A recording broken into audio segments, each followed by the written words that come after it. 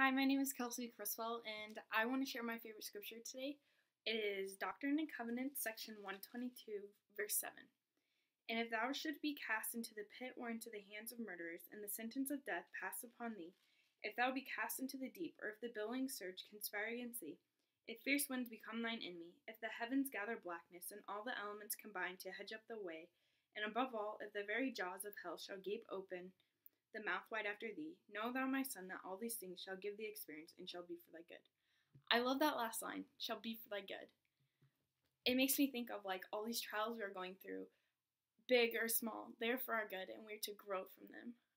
I know this to be true because I've gone through hard things. I've gone through questioning who I am to questioning my faith and and I know from turning to Heavenly Father and for asking my older brother Jesus Christ to help me carry these trials that I've been able to grow. And I know these things to be true.